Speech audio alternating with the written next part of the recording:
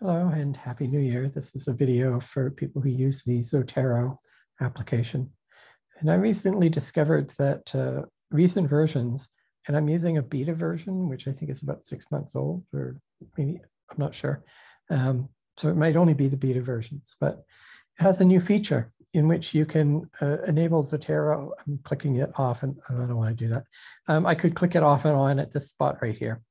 And um, but if you turn that on, and now you can see a window and I'm just in, you know, Zotero here. And I have, so this is a link. I have a link to a, a PDF of this uh, MacCready and, and Geyer um, paper here. And so if I double click, uh, what would normally happen would be that it would open preview or whatever I have for looking at PDFs. But now see what happens. So I just double clicked. For some reason, I had to do it twice. Um, and uh, so it's it's opened now. It's a PDF viewer, and it's opened in um, within Zotero.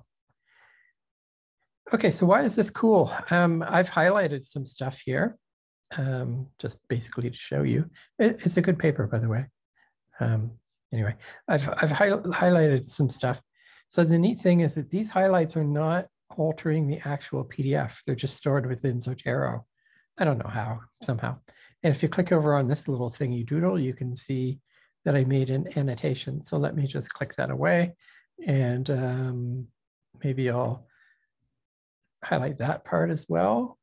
And I don't know, I, I'll, I'll use the same color. I don't know why you choose red. And now click over here and you can see that there are two things.